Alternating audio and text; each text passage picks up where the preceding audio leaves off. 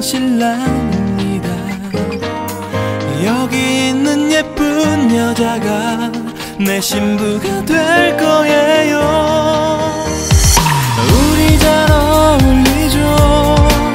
오, 한 쌍의 원앙처럼 축복하러 온 사람들 앞에 백년가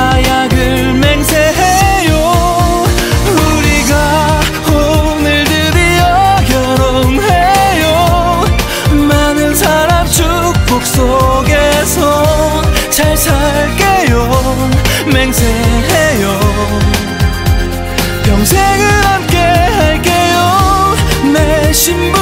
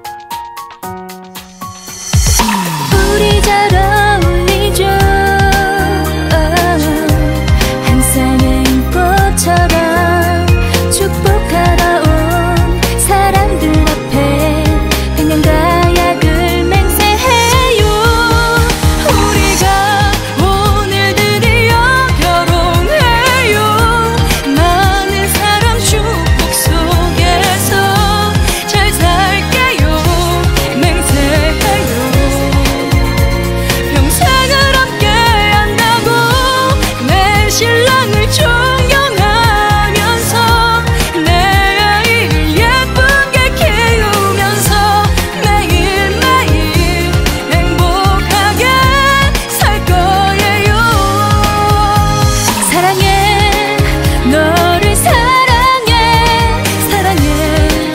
나에겐 너뿐이야. 사랑해.